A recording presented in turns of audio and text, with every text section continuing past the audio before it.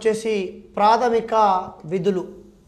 Fundamental duties ఏమంటారు? Fundamental duties మరి ఇక్కడ ప్రాథమిక విధులకు సంబంధించి ముందు ప్రాథమిక విధుల గురించి తెలుసుకునే కంటే ముందు అసలు విధి అంటే ఏంటి? అలాగే నైతిక విధి అంటే ఏంటి? చట్టబద్ధ విధి అంటే ఏంటి? ఆ తర్వాత ప్రాథమిక విధి అంటే ఏంటో తెలుసుకుందాం. మరి ఇక్కడ చూసినట్లయితే ముందు విధి అంటే ఏంటి? విధి. ఇక్కడ విధి అంటే దేన్ని అంటారమ్మా అంటే అమ్మా ఇతరుల కోసం. ఇతరుల కోసం. వ్యక్తులు నిర్వహించాల్సిన నిర్వహించాల్సిన బాధ్యత. ఇతరుల కోసం వ్యక్తులు నిర్వహించాల్సినటువంటి బాధ్యతను విధి అని చెప్పి అంటారమ్మా. అలాగే మరి నైతిక విధి అంటే ఏంటి? నైతిక విధి. మరి విధి అంటే ఇతరుల కోసం వ్యక్తులు నిర్వహించాల్సిన బాధ్యత. మరి నైతిక విధి అని దేన్ని అంటారు? నైతిక విధి అంటే అమ్మ వ్యక్తుల యొక్క నైతిక విలువలపై. వ్యక్తుల యొక్క నైతిక విలువలపై. వ్యక్తుల యొక్క నైతిక విలువలపై సామాజిక స్పృహపై. సామాజిక స్పృ- స్పృహపై ఆధారపడిన వాటిని నైతిక విధులు అంటారు. వ్యక్తుల యొక్క నైతిక విలువలపై సామాజిక స్పృహపై ఆధారపడిన వాటిని నైతిక విధులు అంటారు. బెస్ట్ ఎగ్జాంపుల్ ఏంటి సార్? ఉదాహరణ నాకు చెప్పండి అనుకున్నప్పుడు దీనికి బెస్ట్ ఎగ్జాంపుల్ ఏంటమ్మా అంటే పెద్దలను ఉపాధ్యాయులను గౌరవించడం. పెద్దలను ఉపాధ్యాయులను గౌరవించడం. రైట్ అలాగే పేదలను అభాగ్యులను ఆదుకోవడం. పేదలను అభాగ్యులను ఆదుకోవడం. ఇక్కడ నైతిక విధి అంటే అమ్మ వ్యక్తుల యొక్క నైతిక విలువలపై సామాజిక స్పృహపై ఆధారపడి ఆధారపడి పెద్దలను ఉపాధ్యాయులను గౌరవించడం పేదలను అభాగ్యులను ఆదుకోవడాన్ని ఏమంటారంటే నైతిక విధి అంటారు. ఒక ఉపాధ్యాయుని అమ్మ మీరు అని సంబోధించడమా నువ్వు అని సంబోధించడం అనేటువంటిది మన నైతిక విలువలపై ఆధారపడి ఉంటుంది. పెద్దలను గౌరవించడం అనేటువంటిది మన నైతిక విలువలపై ఆధారపడి ఉంటుంది. అలాగే పేదలు కనిపించారు అభాగ్యులు కనిపించారు ఆదుకోవడం ఆదుకోకపోవడం అనేటువంటిది ఇది మన నైతిక విలువలపై ఆధారపడినటువంటి అంశం. అందుకే నైతిక విధి అంటే ఏంటమ్మా అంటే వ్యక్తుల యొక్క నైతిక విలువలపై సామాజిక స్పృహపై ఆధారపడి పెద్దలను ఉపాధ్యాయులను గౌరవించడం పేదలను అభాగ్యులను ఆదుకోవడాన్ని ఏమంటారమ్మా అంటే నైతిక విధి అంటారని చెప్పి మనం ఇక్కడ చెప్పుకోవచ్చు. అయితే ఈ క్రమంలో ఒక అంశం ఏంటి అనుకున్నప్పుడు నైతిక విధులకు చట్టపరమైన చర్యలు ఉంటాయా నైతిక విధి పాటించకపోతే చర్యలు ఉంటాయా సార్ అంటే నైతిక విధులకు చట్టపరమైన కానీ న్యాయపరమైన కానీ ఎలాంటి చర్యలు ఉండవమ్మా? ఎందుకంటే కేవలం ఇది నైతిక విలువలపై ఆధారపడినటువంటిదే తప్ప ఇది చట్టపరమైనటువంటి న్యాయపరమైనటువంటి చర్యలకు అవకాశం ఇక్కడ లేదు. రైట్. మరి విధి అంటే ఇతరుల కోసం వ్యక్తులు నిర్వహించాల్సిన బాధ్యత. నైతిక విధి అంటే మరి వ్యక్తుల యొక్క నైతిక విలువలపై సామాజిక స్పృహ ఆధారపడిన వాటిని నైతిక విధి అంటారని చెప్పారు. మరి ఇంతకీ చట్టబద్ధ విధి అంటే ఏంటి?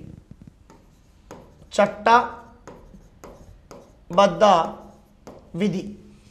మరి చట్టబద్ధ విధి అని చెప్పి దేన్ని అంటారు? మరి చట్టబద్ధ విధి అని దేన్ని అంటారు అనుకున్నప్పుడు ఇక్కడ మీరు గమనించండి.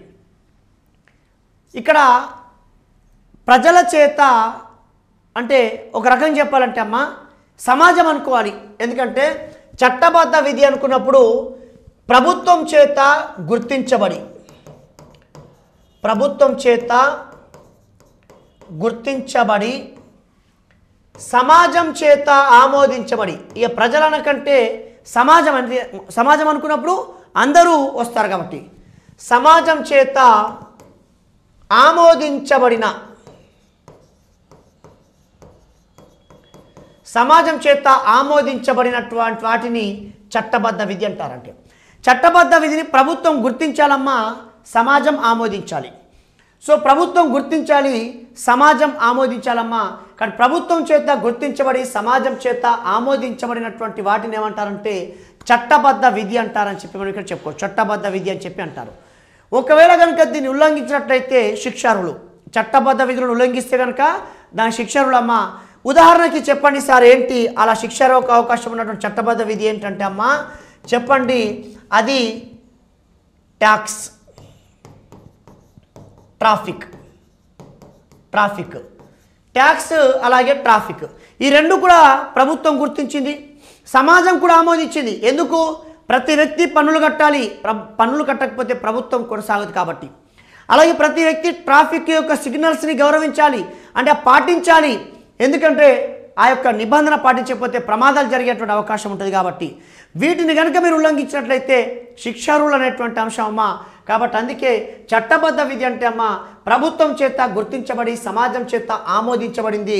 ఉదాహరణకి ట్యాక్స్ కానివ్వండి ట్రాఫిక్ రూల్ కానివ్వండి ట్రాఫిక్ నిబంధన కానివ్వండి వీటిలో దేన్ని ఉల్లంఘించినా కానీ ఇవాళ శిక్షారులు అమ్మ ఇవాళ ఎందుకంటే చట్టబద్ధ విధి కాబట్టి. ఇక ఫైనల్గా మనకు ప్రాథమిక విధి. ఫండమెంటల్ డ్యూటీ ప్రాథమిక విధులు లేకపోతే ప్రాథమిక విధి. దీన్ని ఏమంటారు అంటే ఈ దేశంలో ఉన్నటువంటి ప్రతి పౌరుడు దేశం కోసం తోటి పౌరుల కోసం నిర్వహించేటువంటి కనీస బాధ్యతలని ప్రాథమిక విధులు అంటారమ్మా. ఇవాళ ప్రాథమిక విధి అంటే ఏంటమ్మా? ప్రతి పౌరుడు ప్రతి పౌరుడు దేశం కోసం తోటి పౌరుల కోసం నిర్వహించే కనీస బాధ్యతలను ఏమంటారమ్మా? ప్రాథమిక విధి అంటారు. ఈ దేశంలో ఉన్నటువంటి ప్రతి ప్రతి పౌరమ్మ దేశం కోసం తోటి పౌరుల కోసం నిర్వహించే కనీస బాధ్యతలను ఏమంటారమ్మా అంటే ప్రాథమిక విధులు అంటారని చెప్పి చెప్పండి అమ్మా మరి ఈ ప్రాథమిక విధులు అంటే ప్రతి పౌరుడు దేశం కోసం తోటి పౌరుల కోసం నిర్వహించే కనీస బాధ్యతలు ప్రాథమిక విధులు అంటారు. మరి ఈ క్రమంలో ఈ ప్రాథమిక విధుల విధుల యొక్క నేపథ్యం ఏంటి? మీ అందరికీ తెలుసు బహుశా ప్రాథమిక విధులు అనేటువంటివి రాజ్యాంగం అమల్లోకి వచ్చినప్పటి నుంచి ఉన్నాయా? లేక మధ్యలో చేర్చారా? ప్రాథమిక విధులను రాజ్యాంగం అమల్లోకి వచ్చినప్పటి నుండి ఉన్నాయా? లేక మధ్యలో చేర్చారా అనుకున్నప్పుడు వాస్తవంగా అమ్మ ప్రాథమిక విధులు అనేటువంటివి రాజ్యాంగం అమల్లోకి వచ్చినప్పుడు లేవు. ఈ ప్రాథమిక విధులు మధ్యలో చేర్చినటువంటివి. మరి రాజ్యాంగం అమల్లోకి వచ్చినప్పుడు లేవంటున్నారు మరి మధ్యలో చేర్చినాయి అని చెప్పి చెప్తున్నారు. మరి ఇంతకీ చేర్చితే ఎప్పుడు చేర్చారు? ఎప్పుడు చేర్చారు? అలాగే అసలు ఈ ప్రాథమిక విధులు చేర్చాలనే ఆలోచన ఎందుకు వచ్చింది? ఆనాడు లేని ప్రాధాన్యత తర్వాత ఎందుకు సంతరించుకున్నది? వాస్తవం కదా సార్. ఎందుకంటే రాజ్యాంగం అమల్లోకి వచ్చినప్పుడు లేనటువంటి ప్రాథమిక విధులు తర్వాత వాటి ప్రాముఖ్యత ఎందుకు వచ్చింది? వాటి ప్రాధాన్యత ఎందుకు సంతరించుకున్నది అనుకున్నప్పుడు ఇక్కడ గమనించండి సార్ ప్రాథమిక విధులు ప్రారంభం లేవు తర్వాత ఎందుకు వచ్చాయి? ఏ సందర్భంలో వచ్చాయంటే యాక్చువల్గా పంతొమ్మిది వందల డెబ్భై ఐదో సంవత్సరంలో ఏమైందంటే అలహాబాద్ హైకోర్టు ఒక తీర్పు ఇచ్చింది. ఆ తీర్పు ఏంటంటే ఇందిరాగాంధీ ఎన్నిక చెల్లదు. ఇందిరాగాంధీ ఎన్నిక చెల్లదు. అది ఎందుకు వచ్చిందంటే యాక్చువల్గా పంతొమ్మిది వందల డెబ్భై ఒకటిలో ఐదవ లోక్సభ ఎన్నికలు జరిగాయి. ఆ ఎన్నికలు జరిగిన తర్వాత ఆ డెబ్బై ఒకటిలో ఇందిరాగాంధీ ఉత్తరప్రదేశ్ రాష్ట్రంలోని రాయబరేలి అనే లోక్సభ నియోజకవర్గం నుండి పోటీ చేశారు. పోటీ చేసి అక్కడి నుంచి ఎన్నికయ్యారు. అయితే యాక్చువల్గా డెబ్బై ఒకటిలో ఇందిరాగాంధీ అక్కడ కొంత డబ్బులు ఎక్కువ పంచి డబ్బులు వెదజల్లి అక్కడ ఎన్నికయ్యారనేటువంటిది అక్కడ ఆరోపణ. అయితే ఆ డెబ్బై ఒకటిలో ఇందిరాగాంధీపై ఓడిపోయినటువంటి వ్యక్తి ఎవరమ్మా అంటే రాజనారాయణ. ఈ రాజనారాయణ ఏం చేశాడంటే ఉత్తరప్రదేశ్లోని అలహాబాద్ హైకోర్టులో కేసేశారు. నిజాయితీగా కనుక పోటీ చేస్తుంటే నేనే గెలిచేవాడిని కానీ అవినీతికి పాల్పడి ఇందిరాగాంధీ గెలిచారు కాబట్టి ఇందిరాగాంధీ ఎన్నికను రద్దు చేయండి అని చెప్పి రాజనారాయణ అనేటువంటి ఓడిపోయిన అభ్యర్థి డెబ్బై ఒకటిలో అలహాబాద్ హైకోర్టులో కేసేశారు అప్పుడు డెబ్బై ఒకటిలో కేసు వేస్తే డెబ్బై ఐదో సంవత్సరంలో అలహాబాద్ హైకోర్టు తీర్పిచ్చింది. ఏమని తీర్పిచ్చిందంటే భారతదేశ చరిత్రలో అత్యధికంగా అవినీతికి పాల్పడి ఎన్నికయ్యారు కాబట్టి ఇందిరాగాంధీ ఎన్నిక చెల్లదు అని చెప్పి డెబ్బై ఐదులో అలహాబాద్ హైకోర్టు తీర్పిచ్చినటువంటి న్యాయమూర్తి ఎవరమ్మ అంటే అతని పేరే మరి జగ్మోహన్ లాల్ సిన్హా. ఈ జగ్మోహన్ లాల్ సిన్హా అనేటువంటి న్యాయమూర్తి ఇందిరాగాంధీ ఎన్నిక చెల్లదని తీర్పిచ్చింది. ఇచ్చారు. ఈ తీర్పు రంగనే భారతదేశ వ్యాప్తంగా పెద్ద ఎత్తున ఉద్యమం వచ్చింది. ఏమని వచ్చిందంటే ఆఫ్టర్ ఆల్ లోక్సభకు విజయం సాధించినటువంటి ఇందిరాగాంధీ లోక్సభకు అవినీతికి పాల్పడి విజయం సాధించిన ఇందిరాగాంధీ వెంటనే ప్రధాని పదవికి రాజీనామా చేయాలి. లోక్సభకు విజయం సాధించినప్పుడు ప్రధానికి ఎలా కొనసాగుతారు? రాజీనామా చేయాలని చెప్పి దేశవ్యాప్తంగా ఎక్కడికక్కడ అగ్నిగుండాలుగా వలుస్తున్నాయి. ఎక్కడ చూసినా తపాలా కార్యాలయాలు బిఎస్ఎన్ ఆఫీసులు రైల్వే స్టేషన్లు ఆర్టీసీ బస్సులు. ఈ ప్రధానంగా ఈ నాలుగు ఎందుకు డిమాండ్ ఎందుకు టార్గెట్ చేశారంటే ఇవి ప్రభుత్వ ఆస్తులు కాబట్టి ఎక్కడికక్కడ అగ్నిగుండాలుగా దాదాపుగా వేల కోట్ల ప్రజాధనాన్ని దుర్వినియోగం చేసుకుంటూ కాల్స్తున్నారు. డిమాండ్ ఒకటే ఇందిరాగాంధీ ప్రధాని పదవికి రాజీనామా చేయాలి ప్రధాని పదవికి రాజీనామా చేయాలని చెప్పి. దాదాపుగా దేశవ్యాప్తంగా వేల కోట్ల రూపాయలు ప్రజా ధనాన్ని దుర్వినియోగం చేశారు. ప్రభుత్వ ఆస్తులు ధ్వంసం చేశారు తగలబెట్టేశారు. అయితే ఈ క్రమంలో ఏమైందమ్మా అంటే అంత నష్టం జరిగింది. ఆ డెబ్బై ఐదులో ఎమర్జెన్సీ కూడా విధించేశారు. ఎమ డెబ్బై ఐదులో ఎమర్జెన్సీ వచ్చింది. ఆ డెబ్బై ఆరో సంవత్సరంలో అప్పుడు ఆలోచన చేశారు. నిజంగా ఈ దేశ పౌరులకు కనుక ఒక ప్రాథమిక విద్య అనేటువంటి దుండు ఉంటే కనుక ఇవాళ ప్రభుత్వ ఆస్తులు ధ్వంసం అయ్యేటివా కాకపోయేటివి. ఇలా ప్రాథమిక విధులు అనేటువంటి వారి పైన లేవు కాబట్టే ఎక్కడికక్కడ ప్రభుత్వాస్తు ధ్వంసం చేస్తున్నారు ఇలా ఎక్కడికక్కడ అగ్నిగుండాలుగా మార్చేశారని చెప్పి ఇందిరాగాంధీ ఏం చేసిందంటే ఖచ్చితంగా ప్రాథమిక విధులు పెట్టాల్సిందే. ప్రాథమిక విధులు పెడితే భవిష్యత్తులో ఇలాంటి సంఘటన జరగకుండా ఉండే అవకాశం ఉందని చెప్పి ఇందిరాగాంధీ అప్పుడు ప్రాథమిక విధులు పొందుపరచాలనేటువంటి ఆలోచన చేయడం అనేటువంటిది జరిగింది. అయితే ఇంతకీ మరి ప్రాథమిక విధులు మరి ప్రారంభంలో ఉన్నాయా సార్? అంటే లేవు. మరి మధ్యలో చేర్చారు. అది ఎందుకంటే డెబ్బై ఐదో సంవత్సరంలో భారతదేశ వ్యాప్తంగా ప్రజాధనం దుర్వినియోగం అయింది కాబట్టి డెబ్బై ఆరో సంవత్సరంలో చేర్చాలనేటువంటి ఆలోచన ఇందిరాగాంధీకి వచ్చింది. అయితే ఈ ప్రాథమిక విధులు అనేటువంటివి ఎక్కడి నుండి తీసుకున్నాం మనం ఇంతకీ? అసలు ఎక్కడ అమలు అయ్యేటివి ఈ ప్రాథమిక విధులు అంటే అమ్మా? ఈ ప్రాథమిక విధులు మనం ఎక్కడి నుంచి తీసుకున్నామంటే అమ్మా? రష్యా నుండి తీసుకున్నాం సార్. ఎక్కడ తీసుకున్నాం?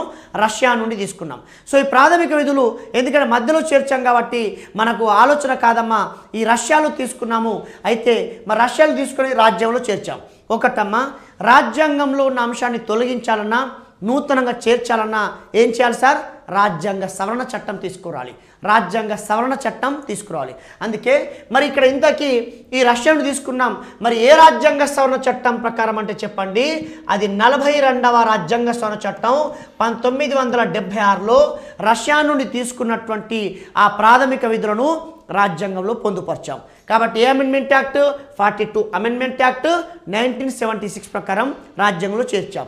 అయితే మరి చేర్చిన ప్రభుత్వం ఏదంటే చెప్పండి అమ్మా? ఇందిరా ప్రభుత్వం. ఇందిరా ప్రభుత్వం. ఏ ప్రభుత్వం చేర్చిందమ్మా అంటే ఇందిరా ప్రభుత్వం చేర్చిందని చెప్పి మనం ఇక్కడ చెప్పుకోవచ్చు. కాబట్టి రష్యా నుంచి తీసుకున్నామమ్మా. ఎవరు చే ఏ అమెండ్మెంట్ యాక్ట్ ప్రకారం చేర్చారు? Forty two amendment act seventy six ఏ ప్రభుత్వం అంటే ఇందిరా ప్రభుత్వం అని చెప్పి చెప్పండి. అయితే చాలామంది మోస్ట్ ఆఫ్ ది ఆస్పిరెంట్స్ అమ్మ ఇంకో దీని మీదే కాన్సన్ట్రేట్ చేశారు. ఎక్కడ నుండి తీసుకున్నాం? ఏ అమెండ్మెంట్ యాక్ట్ ఏ ప్రభుత్వం. సార్ డెబ్బై ఆరులో ప్రధానమంత్రి ఎవరో తెలియనంత అమాయకులు ఉన్నారా ఈ జనరేషన్లో? ఎక్కడి నుంచి తీసుకున్నామో తెలియనంత అమాయకులు ఉన్నారా ఏ అమెండ్మెంట్ యాక్ట్ ప్రకారం చేర్చిన తెలియనంత అమాయకులు ఉన్నారా నా గెస్ కరెక్ట్ అయితే ఈ మూడు అంశాలు వచ్చినా కానీ ఈ మూడు ప్రశ్నలు వచ్చినా వందకు తొంభై తొమ్మిది శాతం రైట్ ఆన్సర్ పెట్టి లేస్తారు అభ్యర్థులు. దీనివల్ల మీకు ఉపయోగం లేదు. మీరు ఎలా ఉండాలి? వందలో పది మంది రైటర్స్ చేయాలి ఆ పది మందిలో మీరు ఉండాలి ఆ బిట్ ఎలా ఉండాలమ్మా అంటే ఇవాళ రష్యా నుంచి తీసుకున్నారా? ఫార్టీ టూ అమెండ్మెంట్ సెవెన్ సిక్సా? ఇందిరా ప్రభుత్వం కాదు. ఎలా ఉండాలమ్మా అంటే రష్యా నుంచి తీసుకున్నారు కరెక్టే కానీ మరి ఏ ప్రాథమిక విధులు పొందుపరచాలి అనేటువంటి చెప్పేటువంటి శక్తి ఇందిరాగాంధీకి ఉందా? జనరల్గా చెప్తున్నానమ్మా తెలంగాణ రాష్ట్రాన్ని ఏర్పాటు చేయాలా వద్దా అనేటువంటి విషయాన్నే మన్మోహన్ సింగ్ తీర్చలేకపోయారు దానికోసం శ్రీకృష్ణ కమిటీ చేశారు. మరి ప్రాథమిక విధులు చేర్చాలి ఎన్ని చేర్చాలి ఏవి చేర్చాలి చెప్పే శక్తి ఇందిరాగాంధీకి ఉందా? అంత సమయం ఉందా? ఉండకపోవచ్చు. అప్పుడు ఇందిరాగాంధీ ఏం చేస్తారు? అరే ప్రాథమిక విధులు చేర్చాలి. ఏ ప్రాథమిక విధులు చేస్తే బాగుంటుందని చెప్పి అప్పుడు ఇందిరాగాంధీ ఏం చేస్తారంటే ఒక కమిటీ వేస్తారు. ఆ కమిటీ చెప్తుంది ఏ ప్రాథమిక విధులు చేర్చాలి ఏవి చేర్చకూడదని చెప్పి. అందుకే నేనేమంటున్నామా అంటే మరి ఇంతకీ ప్రాథమిక విధులను ఎక్కడి నుంచి తీసుకున్నామనే దానికంటే ఏ కమిటీ సిఫారసు మేరకు అనేది చాలా ఇంపార్టెంట్ అమ్మా. ఏ కమిటీ సిఫారసు మేరకు ప్రాథమిక విధులను రాజ్యంలో చేర్చారంటే చెప్పండి స్వరణ్ సింగ్ కమిటీ అని చెప్పండి అమ్మా. స్వరణ్ సింగ్ కమిటీ. స్వరణ్ సింగ్ కమిటీ సిఫారసు మేరకు అమ్మ ప్రాథమిక విధులను రాజ్యాంగంలో చేర్చారు. ఏ amendment act? Forty two amendment act nineteen seventy six. నేనేమంటున్నానమ్మా అంటే ఏ రాజ్యాంగ సవరణ చట్టం అని కాకుండా అసలు ప్రాథమిక విధులు ఎప్పటి నుండి అమల్లోకి వచ్చాయి? చాలా కీలకం. ఇలా forty two amendment act seventy six ప్రకారం చెప్తున్నారు. కానీ అది కాదమ్మా. ఎప్పటి నుండి అమల్లోకి వచ్చాయని అడిగే అవకాశం ఉంది కాబట్టి అందుకే చెప్పండి అమ్మా. అది జనవరి మూడు పంతొమ్మిది వందల డెబ్భై ఏడు. జనవరి మూడు పంతొమ్మిది వందల డెబ్భై ఏడో సంవత్సరం నుండి అమల్లోకి వచ్చాయని చెప్పి చెప్పండి అమ్మా. అంతేకాదమ్మా ఎవరు ఎవరు చేర్చారంటే ఇందిరా ప్రభుత్వం చేర్చారు. కానీ నా దృష్టిలో ఇందిరాగాంధీ పాడు కాదు. అసలు ప్రాథమిక విధులు అనేటువంటి అంశాన్ని మరి పార్లమెంట్లో ప్రవేశపెట్టినటువంటి న్యాయశాఖ మంత్రి ఎవరు? ఇంకోటి ఏంటంటే నేను చెప్పేస్తాను ఆల్రెడీ న్యాయశాఖ మంత్రి అని చెప్పి. యాక్చువల్గా అయితే గతంలో మరి ప్రాథమిక విధుల బిల్లును పార్లమెంట్లో ప్రవేశపెట్టిన మంత్రి ఎవరన్నారు? న్యాయశాఖ మంత్రియా?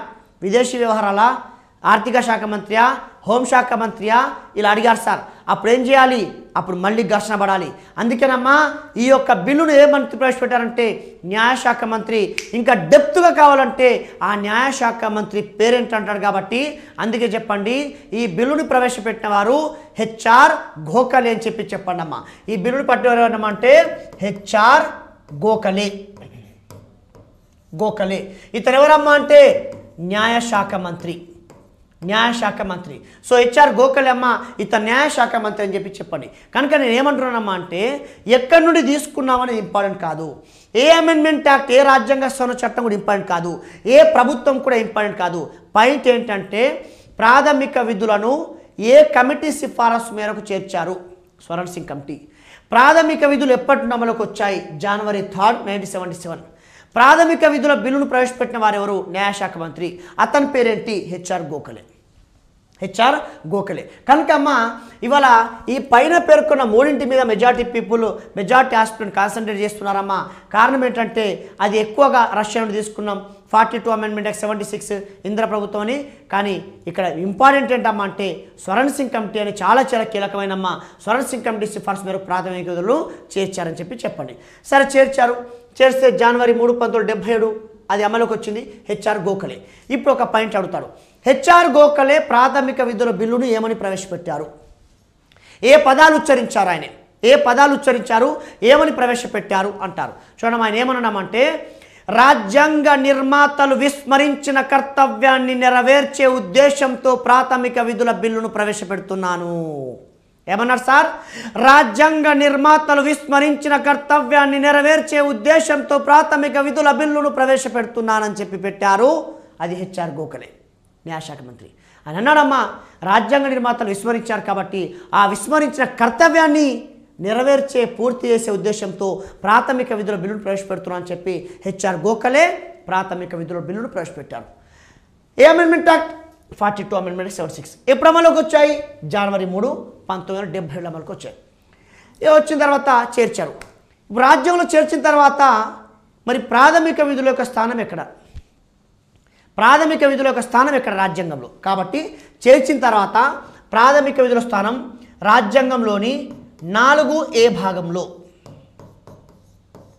నాలుగు ఏ భాగంలో?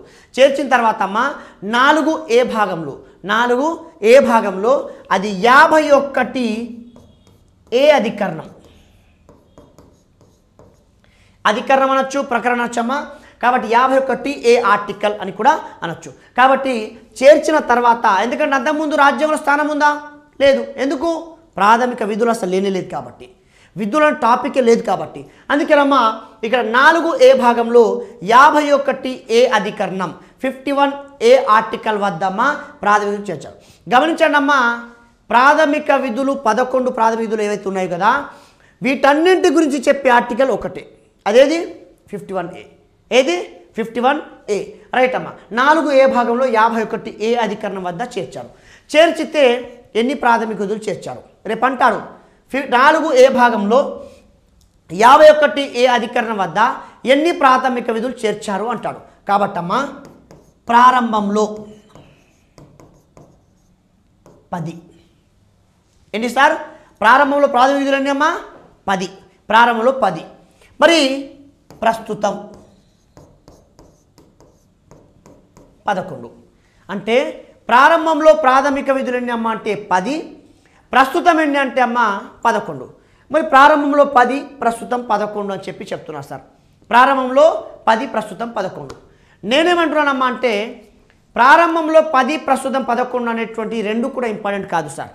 ఎందుకంటే ఒకవేళ ఈ క్వశ్చన్ వస్తే దీనివల్ల పెద్దగా మీకు ప్రయోజనం ఏముండదమ్మా ఎందుకంటే you know very well every అంటే ప్రతి ఒక్కరికి తెలుసమ్మా ప్రారంభం పది ప్రస్తుతం పదకొండు అనేది. కానీ మీరు కోరుకోవాల్సినటువంటి బిట్ ఏంటి? అసలు ఏ బిట్టు రావాలని కోరుకోవాలి మీరంటే అమ్మా ఇంతకీ స్వరణ్ సింగ్ కమిటీ ఎన్ని ప్రాథమిక విధులు సిఫార్సు చేసింది? స్వరణ్ సింగ్ కమిటీ ఎన్ని ప్రాథమిక విధులు సిఫార్సు చేసింది? ఏపీఎస్సి గ్రూప్ టూ మెయిన్స్లో అడిగాడమ్మా ఏపీఎస్సి గ్రూప్ టూ మెయిన్స్లో అడిగాడమ్మా స్వరణ్ సింగ్ కమిటీ ఎన్ని ప్రాథమిక విధులను సిఫార్సు చేసిందని చెప్పి. చాలామంది ఏమనుకుంటారు? అరే ప్రాథమిక విధులను స్వరణ్ సింగ్ కమిటీ సిఫార్సు మేరకే చేర్చారు. కాబట్టి ఎన్ని ఉంటుంది? ప్రారంభమైంది పది. కాబట్టి పదికి పది స్వరణ సింగ్ కమిటీ చెప్పి ఉండొచ్చు అనుకుంటారు. కానీ ఫ్యాక్ట్ ఏంటంటే అమ్మా స్వరణ్ సింగ్ కమిటీ సిఫారసు చేసినటువంటి ప్రాథమిక విధులు. స్వరణ్ సింగ్ కమిటీ స్వరణ్ సింగ్ కమిటీ సిఫారసు చేసిన ప్రాథమిక విధులు కేవలం ఎనిమిది మాత్రమే. కానీ ఏమనుకుంటాం మనం? పది. ఏపీఎస్సి గ్రూప్ టూ మెన్స్లో అడిగాడమ్మా అందరూ స్వరణ్ సింగ్ కమిటీ ఎన్ని ప్రాథమిక విధులు సిఫార్సు చేసేదంటే ఓహో స్వరణ్ సింగ్ కమిటీ సిఫార్సు చేసింది. అంటే స్వరణ్ సింగ్ కమిటీ సిఫార్సు మేరకు ప్రాథమిక విధులు చేర్చారు కాబట్టి ఆనాడు పది కాబట్టి పది పది పది పది అందరు పది పెట్టారమ్మా. కానీ ఫ్యాక్ట్ ఏంటంటే ఎనిమిది ప్రాథమిక విధులు మాత్రమే సిఫార్సు చేసిందమ్మా. ఓన్లీ ఎయిట్ ఎనిమిది మాత్రమే. ఇంకో ట్విస్ట్ చెప్పాలా? ఇంకో మిరాకిల్ చెప్పనా? రేపు అడుగుతాడు. స్వరణ్ సింగ్ కమిటీ ఎనిమిది ప్రాథమిక విధులు సిఫారసు చేస్తే అందులో ఇందిరా ప్రభుత్వం ఎన్నింటిని తిరస్కరించింది? ఆ ఎనిమిది కూడా ఇందిరా ప్రభుత్వం అంగీకరించలేదు. ఆ ఎనిమిది కూడా ఇందిరా ప్రభుత్వం అంగీకరించలేదమ్మా. అందులో మరి తిరస్కరించింది. అందుకేనమ్మా మరి ఇంతకీ ఆ యొక్క స్వరణ్ సింగ్ కమిటీ ఎనిమిది ప్రాథమిక విధులు సిఫారసు చేస్తే మరి అందులో ఎన్ని తిరస్కరించబడ్డాయమ్మా అంటే ఇందిరా ప్రభుత్వం చే తిరస్కరించబడినటువంటి ప్రాథమిక విధులు మూడు. కాబట్టి ఇవాళ స్వరణ్ సింగ్ కమిటీ ఎన్ని ప్రాథమిక విధులు సిఫారసు చేసిందంటే ఎనిమిది అని చెప్పి చెప్పండమ్మా. అందులో ఎన్ని తిరస్కరించబడ్డాయమ్మా అంటే మూడు తిరస్కరించబడ్డాయి. ఎవరి చేత అమ్మా అంటే ఇందిరా ప్రభుత్వం చేత. ఇందిరా ప్రభుత్వం చేత. కాబట్టి అమ్మా ఇవాళ స్వరణ్ సింగ్ కమిటీ ఎనిమిది ప్రాథమిక విధులు సిఫారసు చేసిందమ్మా. అందులో మూడు తిరస్కరించబడ్డాయని చెప్పి మనము చెప్పుకోవచ్చు. కనుక అమ్మ చాలామంది ఏంటంటే ప్రారంభంలో పది ప్రస్తుతం పదకొండు ఈ రెండే తెలుసుకుంటారమ్మా. కానీ స్వరణ్ సింగ్ కమిటీ మాత్రం ఎనిమిది చెప్పిందమ్మా. ఆ ఎనిమిది ఇంద్ర ప్రభుత్వం చేత మూడు తిరస్కరించబడ్డాయి. కాబట్టమ్మా ఇగో ఇది మన ప్రాథమిక విధులకు సంబంధించినటువంటి పరిచయం అని చెప్పి మనం చెప్పుకోవచ్చు. అయితే ఇదే క్రమంలో సార్ మరి ప్రాథమిక విధులకు న్యాయ సంరక్షణ ఉందా? ప్రాథమిక విధులకు న్యాయ సంరక్షణ ఉందా? అన్నప్పుడు ప్రాథమిక విధులకు న్యాయ సంరక్షణ అటువంటి ఉందా అంటే లేదు అని చెప్పి చెప్పండి అమ్మా ప్రాథమిక విధులకు న్యాయ సంరక్షణ లేదు. మరి న్యాయ సంరక్షణ లేదంటున్నారు సార్. మరి ఈ మధ్యకాలంలో మేము చూసాం సల్మాన్ ఖాన్ జింకను చంపినందుకు ఐదేళ్ళ పాటు జైలు శిక్ష విధించారు. మరి ప్రాథమిక విధులకు న్యాయసమర్శనం లేకపోతే సల్మాన్ ఖాన్ ఎందుకు ఐదేళ్ళ పాటు జైలు శిక్ష విధించారు? కారణం ఏంటి? అన్నప్పుడు సల్మాన్ ఖాన్ వాస్తవంగా చెప్పండి జింక చంపడం తప్పే. ఎందుకంటే వన్యప్రాణులను సంరక్షించడం అనేటువంటిది ఏడవ ప్రాథమిక విధి. కానీ సల్మాన్ ఖాన్కు శిక్ష పడింది ప్రాథమిక విధుల ఉల్లంఘన కోసం కాదమ్మా. వన్యప్రాణి సంరక్షణ చట్టం నైన్టీన్ సెవెంటీ టూ ప్రకారం శిక్ష వేశారు. ప్రాథమిక విధుల పరంగా కాదు. వన్యప్రాణి సంరక్షణ చట్టం ప్రకారం శిక్ష వేశారు. జింకను చంపారు కాబట్టి. అందుకే ఇగో ఇలాంటి కొన్ని టాక్టిక్స్ ఉంటాయమ్మా. కొన్ని ఎగ్జాంపుల్ తీసుకొని మనకు మనమే ఊహించుకొని ఏదేదో ఆన్సర్ చేసే ప్రమాదం ఉంటుంది. కాబట్టి ఇవాళ ప్రాథమిక విధులకు మరి జస్టిసియబుల్ నాన్ జస్టిసియబుల్ అంటే నాన్ జస్టిసియబుల్ వీటి న్యాయ సంరక్షణ అనేటువంటిది లేదు. విధులు పాటిస్తావా పాటించవా? నీ వ్యక్తిగతం. న్యాయ సంరక్షణ అనేటువంటిది లేదు. కానీ ప్రాథమిక విధుల అమలు కోసం భారత పార్లమెంట్ కొన్ని చట్టాలు చేసింది. ప్రాథమిక విధుల అమలు కోసం భారత పార్లమెంట్ కొన్ని చట్టాలు చేసింది. మరి ఇంతకీ ప్రాథమిక విధుల అమలు కోసం భారత పార్లమెంట్ రూపొందించబడినటువంటి చట్టాలు ఏంటివి?